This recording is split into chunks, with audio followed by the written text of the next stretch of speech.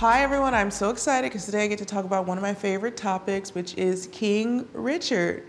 So before, I didn't talk about the film because I didn't want there to be any spoilers at all, because maybe you hadn't seen the film, maybe you wanted to see the film, right? Okay, regardless of all of that, I want to tell you some things about the film that are actually true to life and that actually, of course, the film is all true to life, but I want to tell you specifically my experience and how it happened. Okay, so one of the questions that I get most often about the King Richard film, I get this all the time, feels like every day. Is the film true? Is it true to life? And I always tell people, okay, so here's the answer. Drum roll, please. Here's the answer is that it is true to life. And I think that's why so many people really love the film because it's a true story. And of course, there's lots of fiction out there, so many movies that are amazing too without it being, you know, a real life story memoir. But this is definitely true to life. It's definitely my family's experience and definitely um, my experience and on the court and off of the court. And that's what made it so special. It was about my whole family. Not just my dad not just me not just serena. It was about the whole family. And anyone who has family will relate to that so some examples of some true to life things. Okay so some examples of some things that were true to life. So first of all there's there's these this whole scene these whole scenes where my dad you know, I'm about to play junior tennis and my dad isn't sure if I should play. So in real life, one of the one thing that didn't make the film is that I had to beat my dad before I was allowed to play junior tournaments. So this is like even more backstory that like you can't put everything in the film. So I had to beat my dad before I got to play a junior tournament. That was always the rule. Like when I got to beat him, I got to play a tournament because I was really wanting to play tournaments. And so I remember like we were at a park in Long Beach one night because we trained into the night too. And I remember when it happened, I think it happened much sooner than he expected. And I think I was like eight years old maybe. And so I was like, okay, yes, I get to play. Guess what? No. He's like, no, not yet. And I'm like, wait a minute, that was a rule you made up and I just did it. So I remember I had to wait at least one year more year before he let me play tournaments. And um, so in the movie, we talk about like this whole process of like me being allowed to play a tournament and finally it happens and I'm so happy. My take on the film, let's just back up here.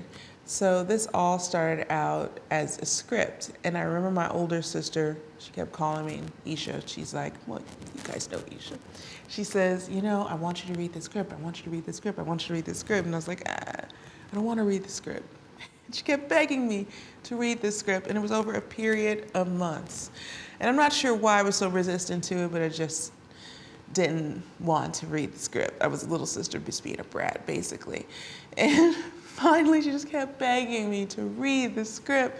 So finally, I was on the airplane once and I was like, I'm gonna read this script. Ugh. So I start reading the script on the plane, and I remember reading the script and I started laughing.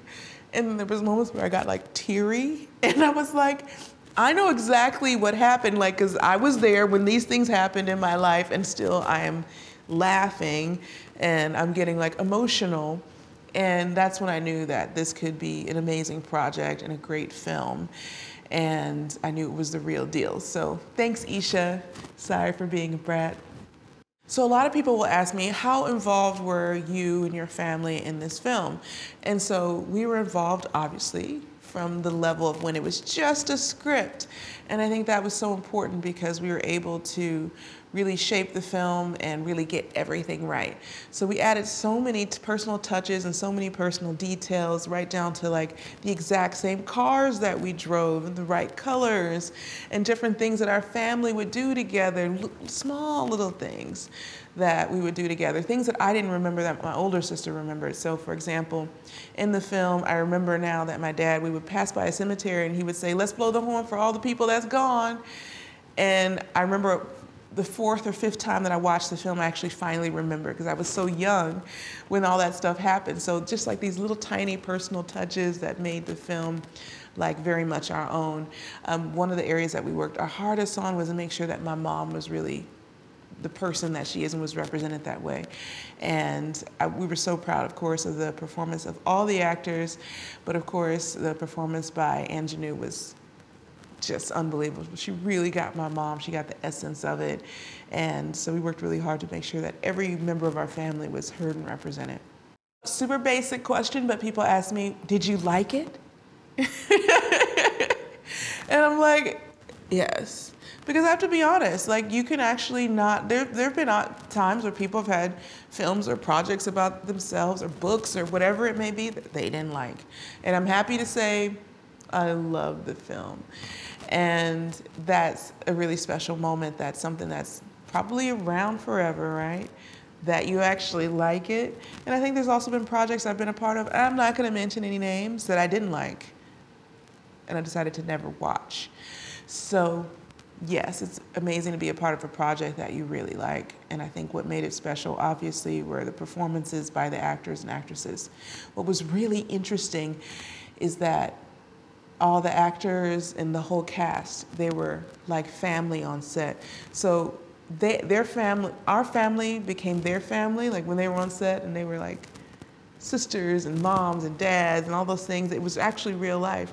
Like uh, Demi and Saniyya would walk around holding hands around the set.